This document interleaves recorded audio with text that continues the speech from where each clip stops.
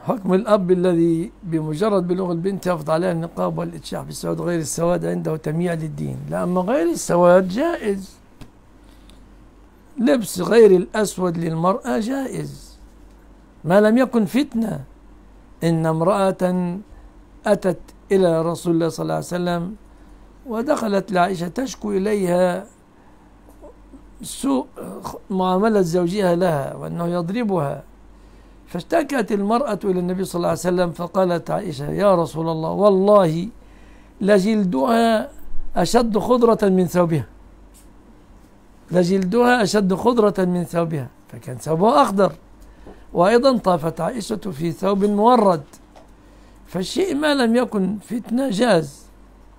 نعم الأسود لا بأس به وهو الأفضل لكن لا مانع من أن تلبس المرأة لونا غير الأسود. ما دام ليس بفتنة ما لم تكن فيه فتنة. والله أعلم.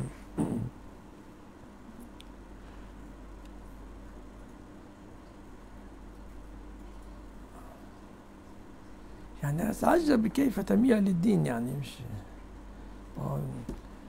الله يقول للنبي محمد صلى الله عليه وسلم آية أرجو من الإخوة أن يسمعوها.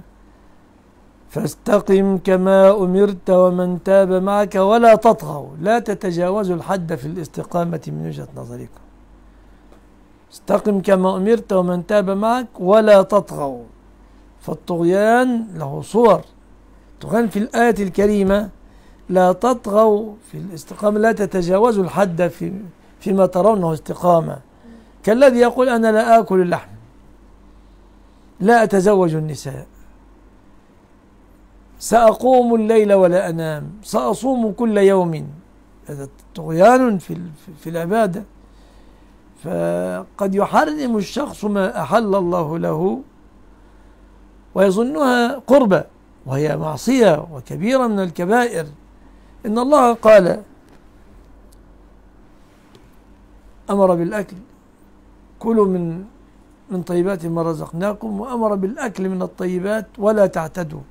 لا تعتدوا في الآية الكريمة في آية الطعام لا تعتدوا وتحرموا ما أحل الله لكم.